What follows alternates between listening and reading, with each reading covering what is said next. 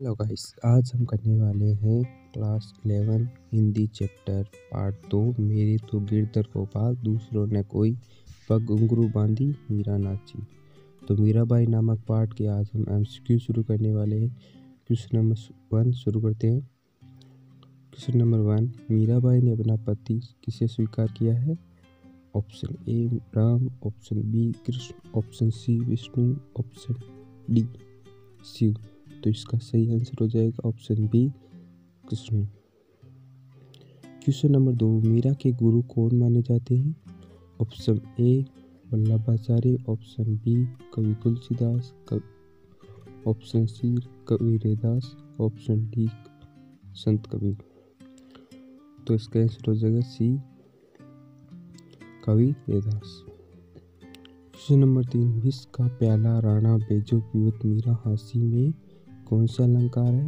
Option A रूपक अलंकार, option B दृष्टांत अलंकार, ऑप्शन सी विरोधाभास अलंकार, ऑप्शन डी अंत्यानुप्रास अलंकार।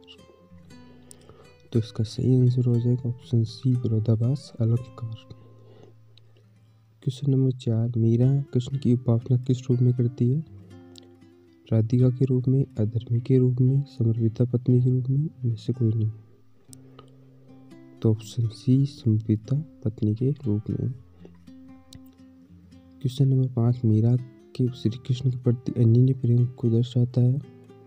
ऑप्शन ए दूसरे संबंध ना होना। ऑप्शन बी, कृष्ण के को पति मानना। ऑप्शन सी, कृष्ण से अनुराग होना।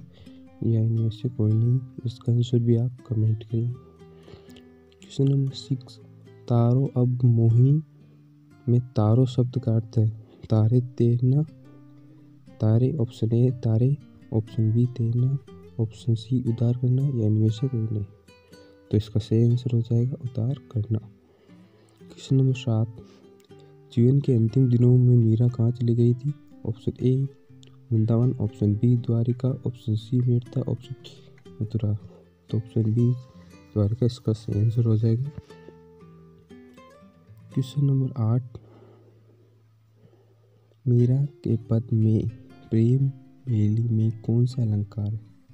ऑप्शन ए, छकानुप्रास, ऑप्शन बी, उत्प्रेस अलंकार, ऑप्शन सी, उपमा अलंकार, ऑप्शन डी, रूपक अलंकार।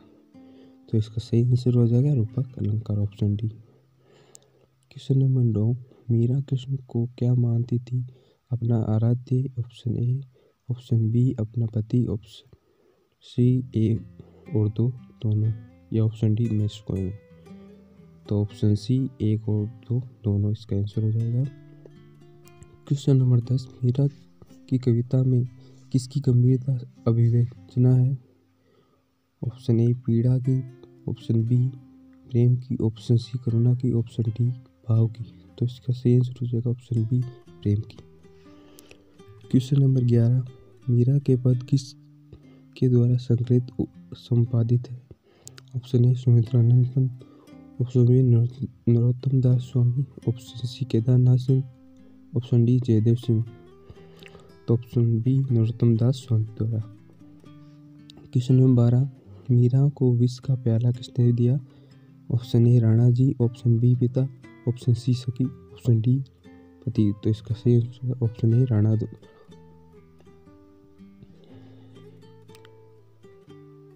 question number तेरह, कुंज की यानी में कौन सा अलंकार है?